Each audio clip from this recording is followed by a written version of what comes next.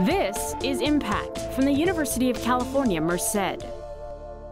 I think we're really interested in how the diversity of life evolves and how it all fits together. You know, UC Merced professor Michael Dawson is directing research on jellyfish, unique animals found in both fresh and saltwater locations.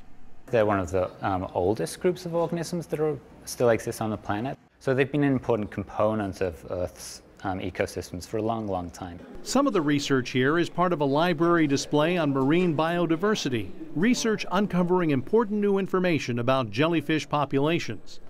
We found jellies that they just been known to has a distribution in the um, Western Pacific, Indonesia, and now we found them in the Eastern Pacific, around El Salvador, Oaxaca, and the Gulf of California. So this is really, really surprising. This is really about trying to understand how many species there are on the planet, um, where they're distributed, and the kinds of differences between species that we see. The UC Merced work also provides valuable data to research locations like the Pacific island of Palau, whose lakes are home to freshwater jellyfish.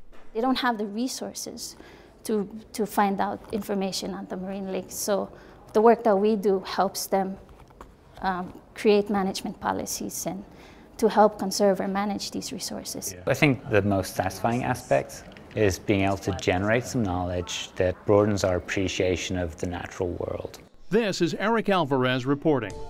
For more news about the University of California, Merced, visit our website